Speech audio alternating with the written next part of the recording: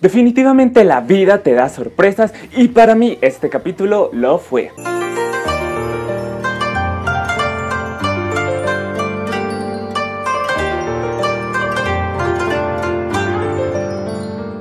Hola, muy buenas a todos y sean bienvenidos a un nuevo video aquí en el canal.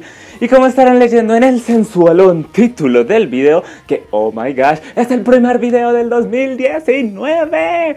Así es, después de todos los especiales, todas las demás cosillas y todo lo épico del año pasado, pues continuamos este año 2019 con muchas cosas bien, porque el 2018 nos dejó grandes series grandes parejas, un montón de cosas épicas que merece que todavía lo sigamos recordando este año. Pero como están leyendo en el título, pues bienvenidos a la tercera review de la serie R Sky, esta vez con nuestros protagonistas fantásticos de My TV Series, Mark y T. Antes de comenzar quiero recordarles que hasta el sábado 5 de enero a la medianoche tendrán posibilidad de ir a votar en los premios Biel 2017. Hay muy buenas categorías como mejor uke, mejor pareja, mejor serie y muchas más. Así que hasta ese día podrán ir a votar. Así que si no han ido a votar, pues no sé qué están haciendo porque su voto puede hacer la diferencia y hacer que su serie se corone como la mejor del año pasado. Les dejaré en la descripción el link al formulario de Google para que vayan y voten. Y les recuerdo, hasta el sábado 5 de enero a la medianoche podrán votar. Que vayan corriendo. Pero sin más dilación y sin más anuncios raros, comencemos. Estoy seguro que muchos me estarán preguntando en los comentarios dónde vi el capítulo porque realmente se demoraron bastante con lo que son el capítulo 3 y el 4 en subtitularlos. Salió el año pasado, si mal no estoy, como la primera y segunda semana aproximadamente de diciembre, por lo que se han demorado bastante. Pero si quieren ir a ver el tercer capítulo y el cuarto, les recomiendo más bien, les aconsejo que vayan a Dailymotion y escriban Sensei Subs. Así es, sin la U, como les estará apareciendo por acá. Vayan, busquen este canal de este chico que subtitula, que ahí están los capítulos 3 y 4. Pero hoy hablaremos únicamente del capítulo 3, centrado en nuestros queridos T y Mork. Debo decir que este capítulo no lo esperaba mucho, no tenía mucho hype, no estaba muy emocionado por este capítulo. Realmente era el penúltimo, así como tal que esperaba antes del de ellos, por lo que era el cuarto capítulo que más esperaba. Por lo que no tenía mucha esperanza, recordemos todo lo que fue su serie, todo lo que generaba después de la segunda mitad y este tipo de cosas, por lo que no estaba, no lo esperaba digamos con muchas ansias.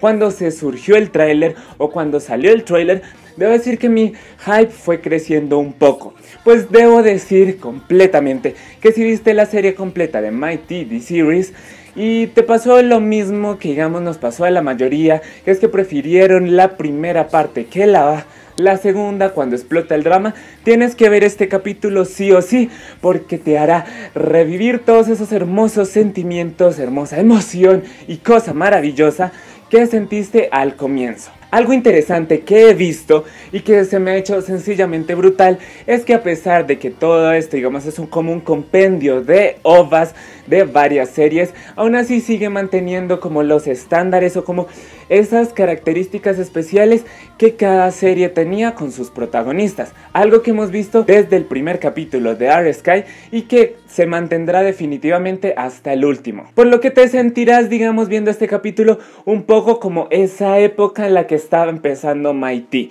llena de cosas cómicas, graciosas, tontas, pero suma, sumamente cursis. Esta vez la historia girará en torno a que nuestros queridos T y Mork ya llevan tres años de relación, van a un aniversario, ya están en la universidad, crecieron, yo no sé qué, y sí sé más. Y pues ya esta vez no nos iremos con los típicos clichés de la onda de un tercero en discordia o ese tipo de cosas, sino será el hecho de querer dar una sorpresa que se malentienda. Como esta onda de malos entendidos pequeños y demás que hacen que todo sea fantástico. Debo decir que algo de lo que gana definitivamente este capítulo es que su drama es diminuto, minúsculo, pero minúsculo. Se centra más que todo en toda la parte tierna y demás. Debo decir que me encanta la química que muestran estos dos personajes porque es una química bastante natural y que como dije recuerda mucho al comienzo de su serie. Además, esta no es una pareja que haya empezado recién, todo lo contrario, porque recordemos que ha tenido como tres fases esta historia de T y Mork. Ahora los vemos en una tercera fase, mucho más maduros, ya sin prejuicios, ya simplemente demostrando su amor, siendo conscientes de lo que siente el uno por el otro y todo este tipo de cosas que los llevará a querer hacer algo especial por el otro, pero ahí es donde surgirán los conflictos.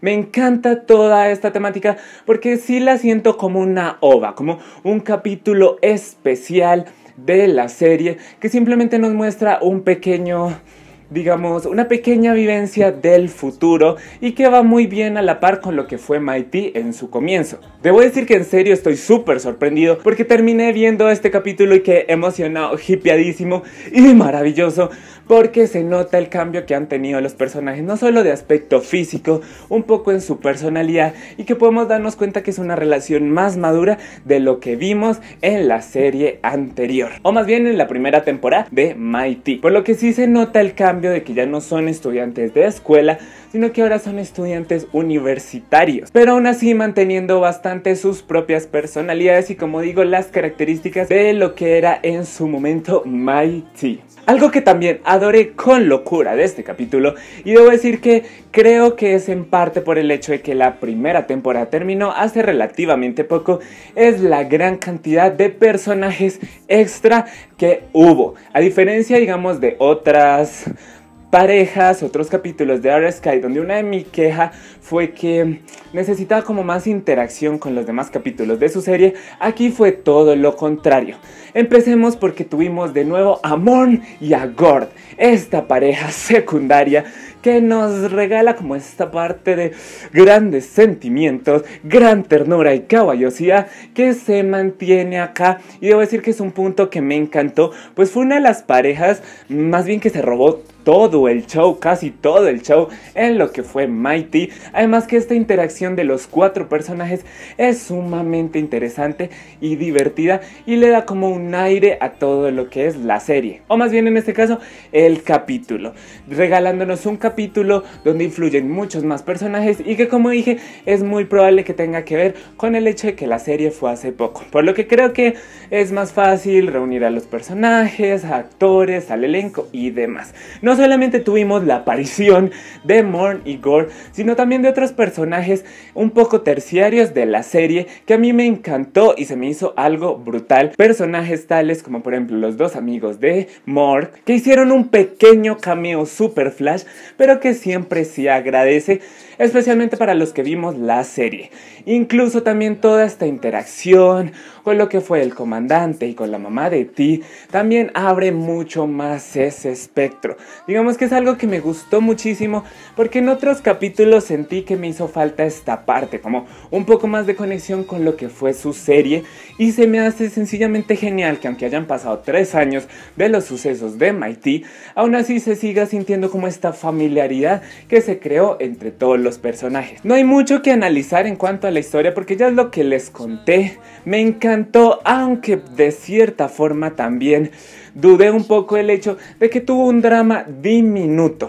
Fue un drama que se estuvo, digamos, construyendo a lo largo de todo el episodio, pero aún así el momento en el que explotó fue una cosa como muy choqueante, porque recuerdo que incluso miré la línea de tiempo y faltaban muy pocos minutos para que se acabara el capítulo. Desde cierto punto, bueno, recordemos lo que pasó en la serie, esta pareja no es una pareja como que esté para los momentos dramáticos, debo decir que este par saben actuar los momentos románticos, cursis y graciosos de una forma que les aplaudo de aquí hasta Tailandia, pero lamentablemente los dramas no la dan lo suficiente o básicamente no la dan nada. Por lo que en parte agradezco que hayan tomado como este consejo de algo que fue un error en la primera temporada y aquí que fuera más bien un pequeño drama y es Básicamente un capítulo como repleto de momentos cursis, momentos tiernos y momentos sumamente graciosos, debo decir. Y aquí sinceramente sinceramente quedo estupefacto porque es el capítulo que más me sorprendió y hasta el momento mi capítulo favorito de R Sky. No puedo creer lo que hayan logrado tumbar del primer lugar a Pig y a Rom, pero lo lograron. Sobre la posibilidad de una nueva temporada no lo veo tan claro, sinceramente. Se dieron un salto bastante grande en cuanto a tiempo, tres años, y por la forma en la que manejaron este capítulo, creo que no van como a querer buscar una nueva temporada repleta de drama ni ese tipo de cosas. No sé si los volvamos a ver, porque es muy incierto, es una pareja relativamente nueva, pero que ya entre todos los elementos como tal, pues de la primera temporada y lo que vimos acá, pues ya es una pareja bastante sólida y consolidada. Una pareja ya bastante madura que debo decir que me cierra un poco las posibilidades o las probabilidades, porque me inventé una nueva palabra, posibilidades, de que haya una continuación quizás de su historia. Aún así aplaudo de aquí a la luna porque siento que este es el buen final y el buen final y el correcto que tuvieron que darle si es que esta pareja no la vamos a seguir viendo. Nos quedamos con Gorn y Morn digamos, entre comillas, como algo indeciso, está como para que el que crea que no son nada, sino solo amigos, pues está bien, pero es más que obvio que no lo son. En una escena, Mork le dijo a Gord que él lo amaba mucho, muy ciegamente, etcétera, etcétera. Así que debo decir que es el capítulo que más me gustó. Sí lo sentí como una muy buena continuación de lo que fue su historia. Se sintió el cambio, la madurez en los personajes, no solo desde el aspecto físico, sino desde también la personalidad y la evolución de su pareja, la evolución de su relación. El hecho de que es una pareja que ya lleva bastante tiempo juntos, que se conocen bastante, ahora casi que viven juntos. Así que con ese final nos dejan como la onda perfecta del saber que continuarán juntos y que ya serán fantásticos. ¿Y qué puedo decir? Un capítulo sumamente gracioso, perfecto para esa pareja, mantuvo todos los elementos. Fue un deleite volver a ver no solamente a Mork y a ti, sino también a Morn y a Gord, todas sus interacciones con los demás personajes que aparecieron y la incursión de esta nueva chica que no tomó el protagonismo, digamos, que se creía en la sinopsis, sino que al contrario fue un personaje secundario, pero muy buen personaje.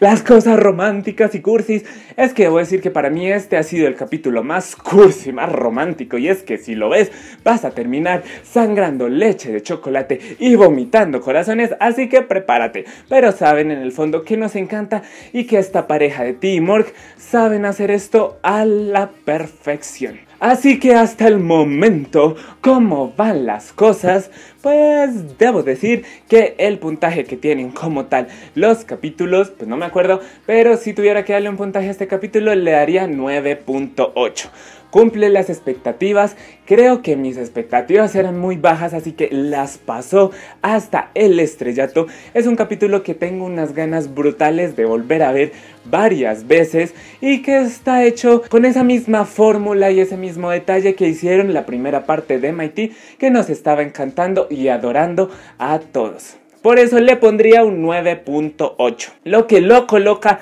en el primer lugar de los capítulos, debajo del de In y San y por último en tercer capítulo el de Peaky Rom. Esperemos a ver cómo se dan las cosas con los capítulos faltantes, el de Pete y Kao y el de Arthur y Kong Pop. Se vendrán las reviews más adelante, pero les recuerdo, esa es mi opinión. Adoré con locura este capítulo, un capítulo super cursi, bellísimo, precioso y es que me encantó, o sea, por algo está en el primer lugar. Y es que toda la onda de la música, que le tocara la guitarra, que cantar, que el aniversario, es que fue como una explosión de cursilerías, pam, pam, pam, pam, seguías y seguías y yo estaba como, me encanta, qué hermoso, qué tierno, qué bellísimo. Ah.